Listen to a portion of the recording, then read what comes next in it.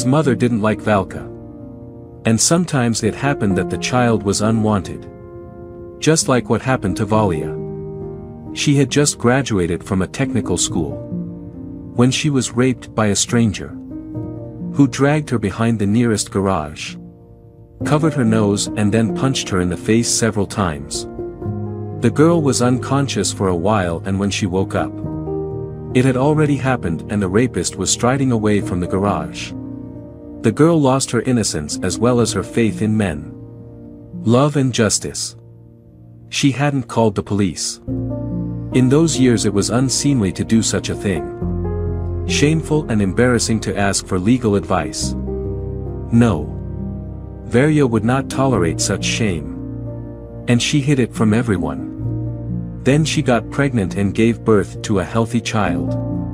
And Varia kept thinking that as soon as she held her son in her arms, she'd fall in love with him. But it never happened. She was a proper girl. Raised by morally strict parents. So she didn't abandon her child. She didn't leave him in the maternity hospital.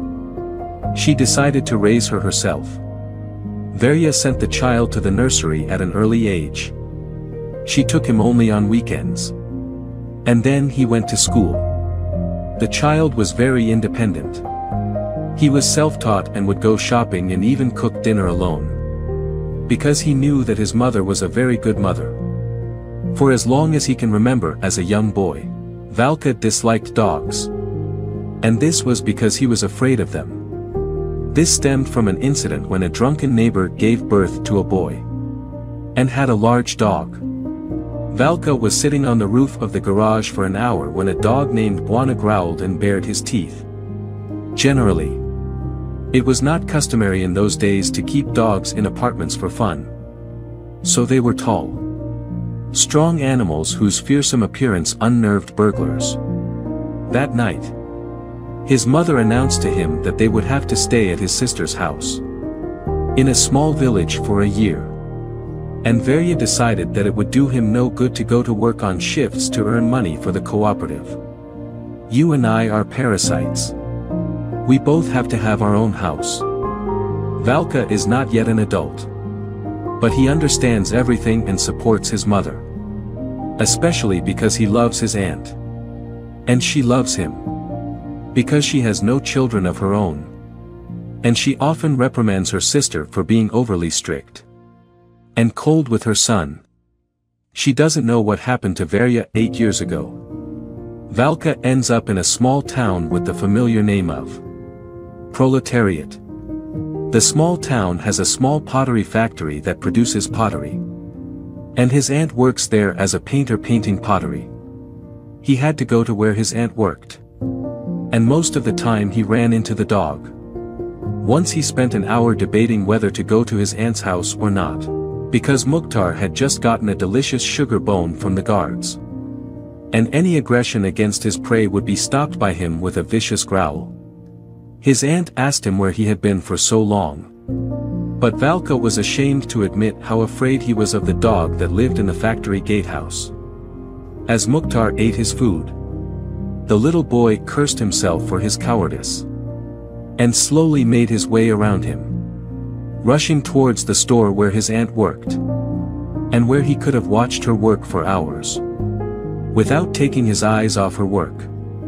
The dog immediately became a completely different person. He was no longer a guard with a free will. In that moment he was not interested in anything.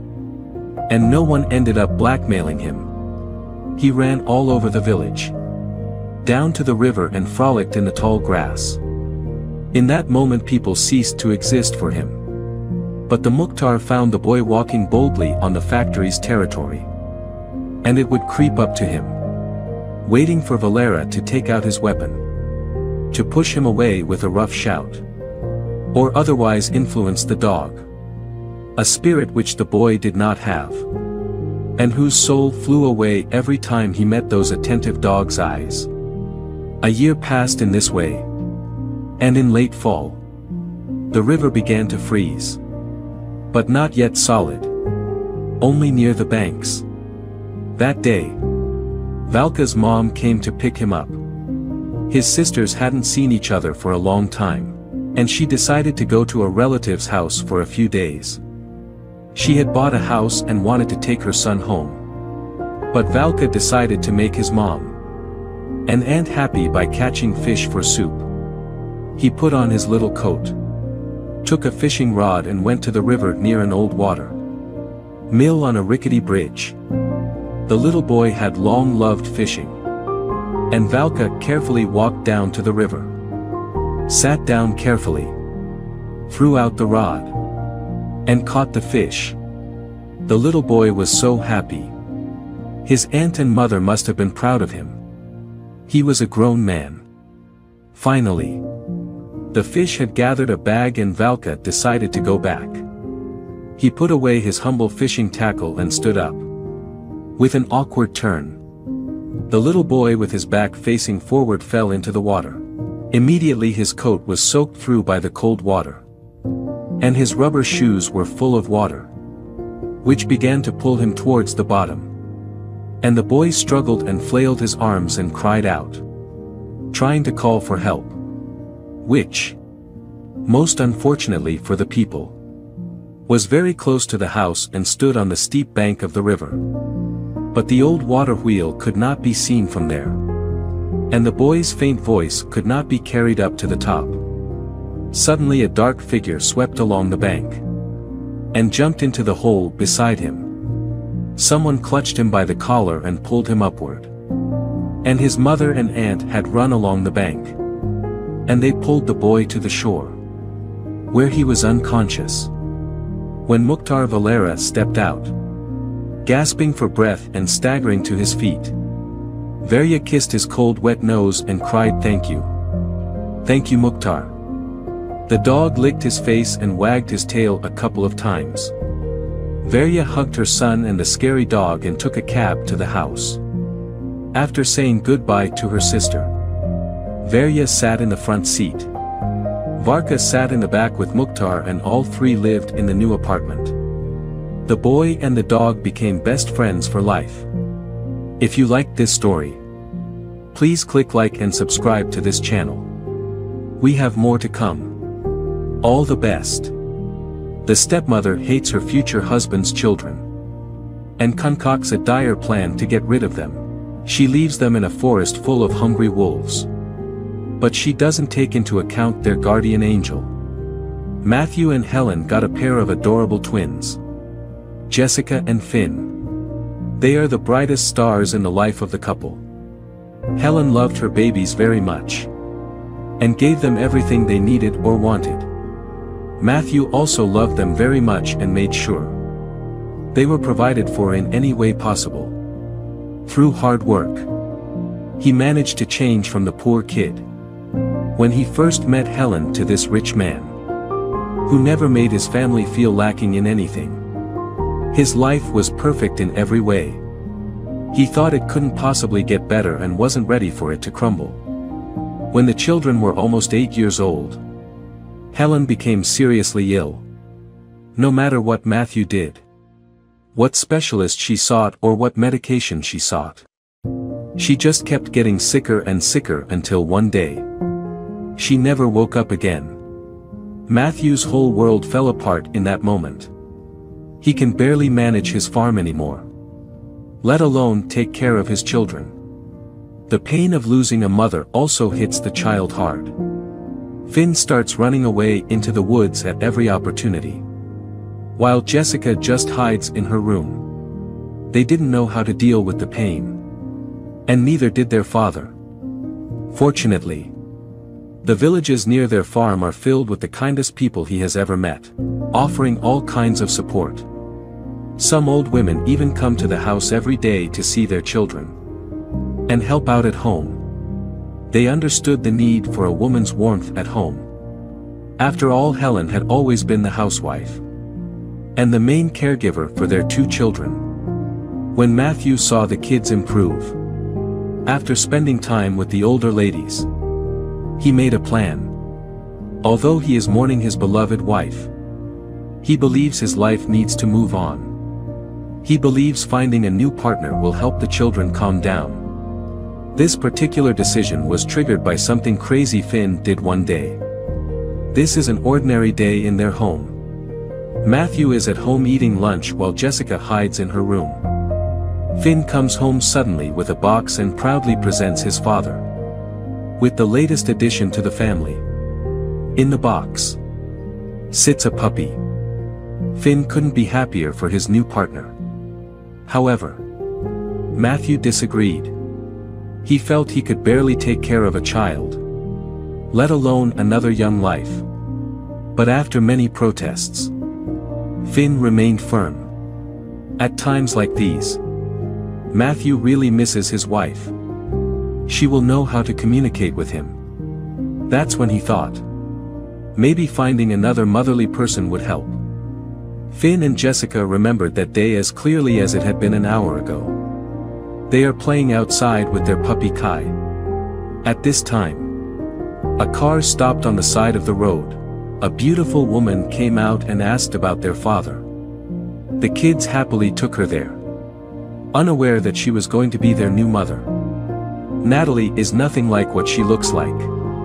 Matthew sees a beautiful, young, stylish woman who loves children. He met her while he was in town on business. They start chatting. And upon learning that Matthew is a wealthy farmer, Natalie puts her paw on him. According to Natalie, children are wonderful creatures. A home is not home without a mother. And no man should be able to cook for his family. All these words sounded like music to Matthew's ears. He couldn't believe that he was so lucky to come across someone like her.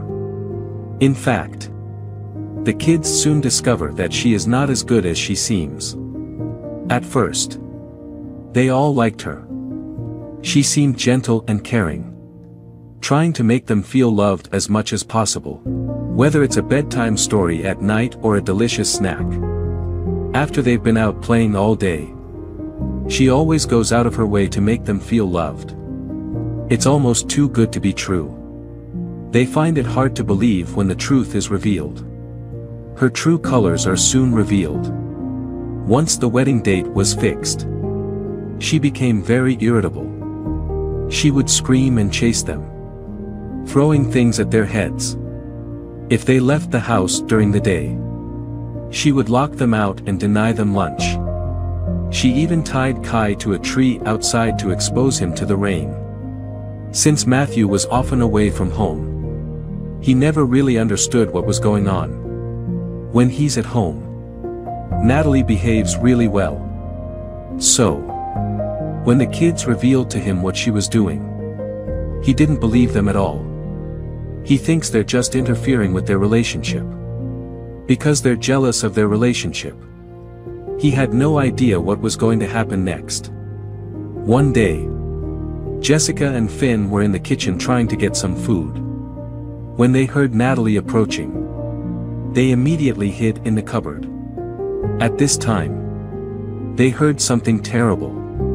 Natalie is talking to someone on the phone. From what they heard, it looked like she was talking about hurting their father. She wants all his money.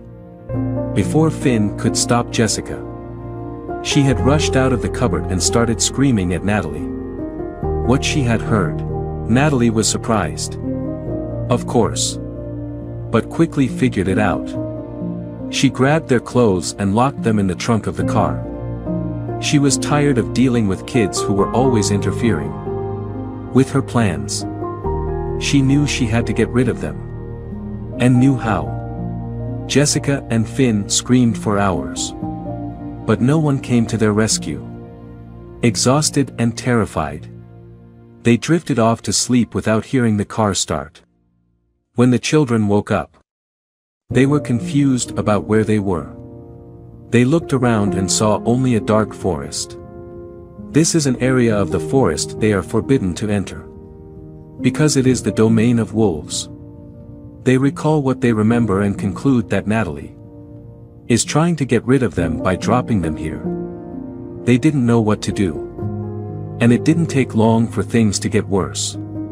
Before they can come up with a plan, they start seeing movement in the surrounding woods. The emaciated wolf crept out of the bushes.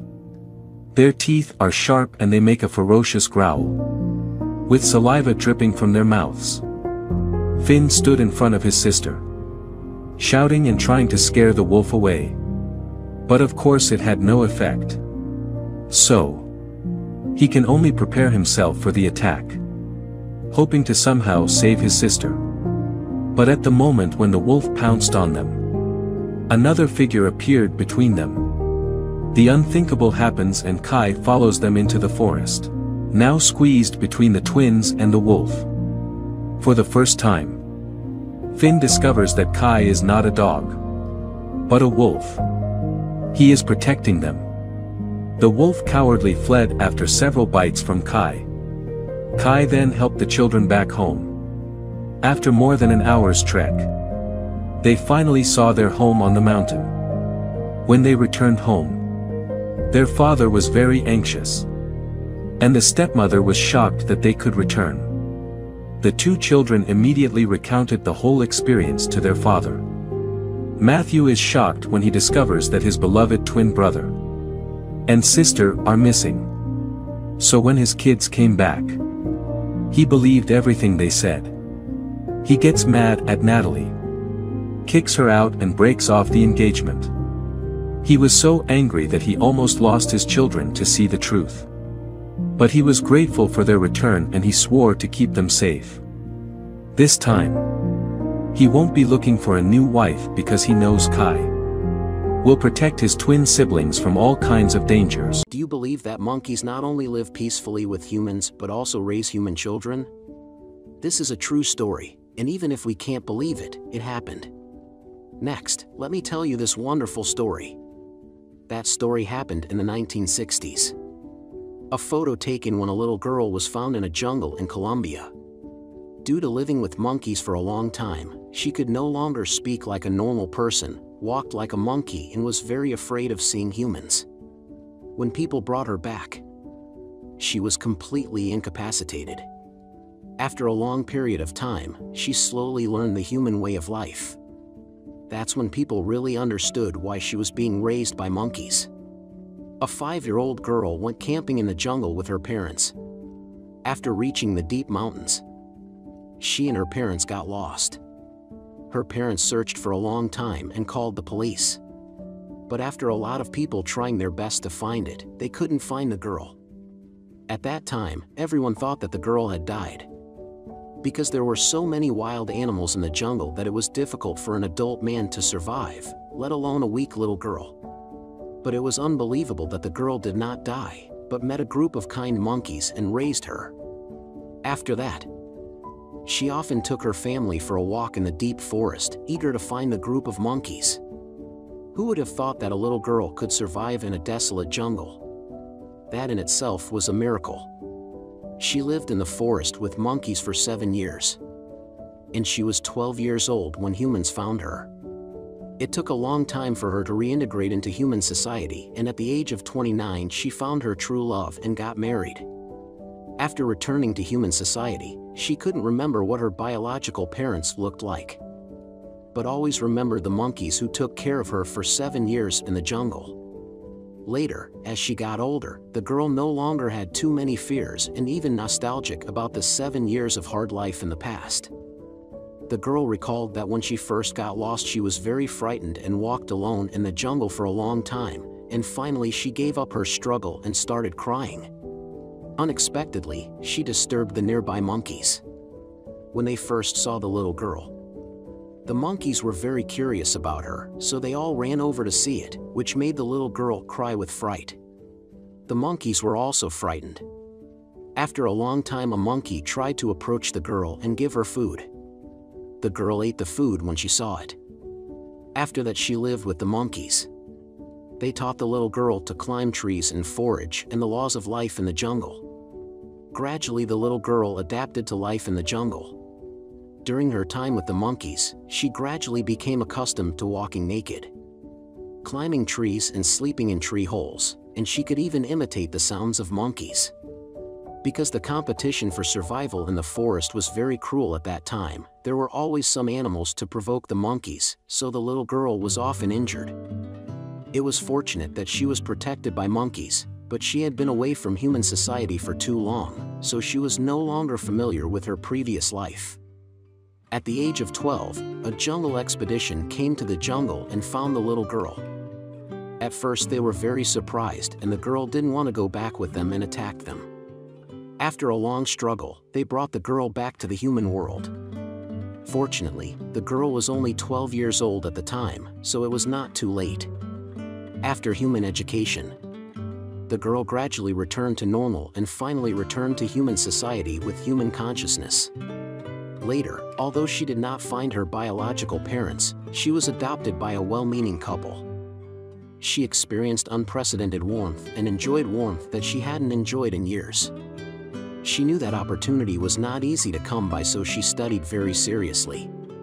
Many years later she became a wildlife biologist, often visiting the jungle where she used to live. Later, after she got married and had children, she often took her husband and daughters to camp in the jungle. Due to living in the jungle for a long time, she developed a skill, such as climbing trees, and she was very athletic. She also helped her daughter catch birds and squirrels a few times, which brought her a lot of joy. She wrote a book about the many ways to survive in the jungle, and it was loved by many people once it was published. She was very eager to meet the monkeys who had taken care of her and raised her. It was just that the group of monkeys had probably left or migrated. It was a pity that she never saw them again. In those lost days, the relationship between this girl and the monkey touched countless people.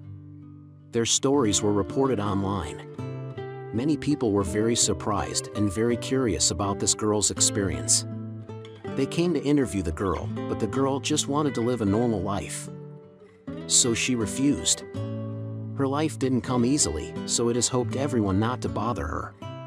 Although the road to happiness is extremely bumpy, but fortunately she finally accepted human beings and had a beautiful family life. She never forgot the monkeys who took care of her and wanted to repay them. Animals are very smart and it is hoped that everyone can protect them and live in harmony with them. It is often heard that a home with a mother is a complete home. And this applies not only to humans but also to animals. As long as it is a mother, whether it is human or animal, it is very worthy of our respect. Nowadays, the internet is very developed. And we often see too many mothers laying down their lives for their children in the animal world. This is a true and moving story. This pastoral dog was a stray dog, wandering outside every day and did not know who its mother was. It was unknown to the world and lived by picking up garbage, so it often starved. It had no fixed place to live, and was often chased and beaten by playful children, making life very hard. It became less timid and would hide in the corner and tremble whenever someone approached it. One day it was looking for food as usual but was bullied by a group of children. Just happened to pass by a female monkey. After seeing this timid and frightened puppy, it immediately rushed to save it. It growled continuously at the children and kept the puppy behind him. When the children saw the ferocious monkey, they were very frightened and left the puppy was very pitiful and the mother monkey felt very distressed. It felt the puppy like its lost child and decided to protect it later. So it stroked it over and over with its paws to reassure it. From time to time it licked the dog's face with its mouth. Perhaps the dog was so stunned by the sudden concern that it didn't dare to move. And was petted and shed tears by the mother monkey. After that day, wherever the mother monkey went, it took the puppy with it it was afraid of accidentally losing the dog. Such a move made passersby stop and watch. Some people wanted to take the dog from its arms out of curiosity. Unexpectedly, the dog hugged the female monkey tightly and ran up desperately, roaring at the people, which shocked everyone around. When someone wanted to hurt the dog, the female monkey was no longer gentle. People were deeply moved by the behavior of the female monkey and offered them food there was a transracial bond between the monkey and the dog, and they depended on each other. After receiving the human food, the mother monkey put down the puppy to bow to the people. And then took the food very politely. After getting the food, it gave the puppy the food and starved itself. The mother monkey did take the puppy as her child. This love is so great that it should be learned by all of us. We should love animals like this monkey. If we don't love them, please don't hurt them and try to protect them.